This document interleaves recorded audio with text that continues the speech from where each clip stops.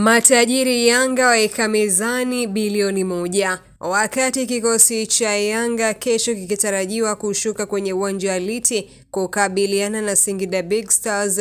Mabosi wa Yanga wameitengea Marumo Gallants ya Afrika Kusini zaidi ya bilioni moja ili kuimaliza kwa Mkapa.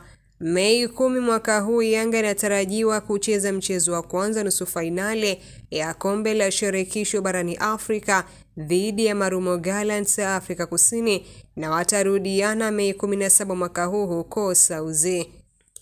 Yanga ilitinga hatua hiyo baada ya kuifunga jumla mabao mawili kwa sifuri Rivers United, huku Marumo yenyewe ikiwafunga Pyramids ya Misri jumla mabao mawili kwa moja. Shirikisho la soka Afrika CAF limekuwa na kawaida ya kutoa fedha kuanza kwa klabu zinazofuzwa hatua ya makundi hadi fainali. Kwa hatua aliyofikia Yanga, wanatarajiwa kulamba zaidi ya bilioni moja. Chanzo cha kuaminika kutoka Yanga kimesema kuwa kupitia kikao cha viongozi wa timu hiyo walikubaliana kutumia gharama yoyote hata ikiwa bilioni moja au zaidi ili kuhakikisha wanaweka rekodi ya kucheza fainali mwaka huu.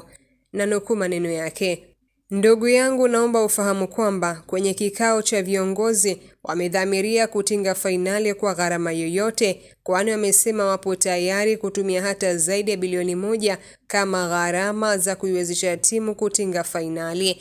Walisema kama ishu ni kuwafanya wachezaji wawe na furaha ni kuwapa pesa, basi watawapa kitita chochote kile ili tu tuweze kutengeneza heshima, maana nafasi kama hii huwa ni ngumu sana kujirudia kwenye maisha ya mpira, na ndiyo maana wameelekeza pesa zote za kafu zitumike kutufikisha fainali, kilisema chanzo hicho.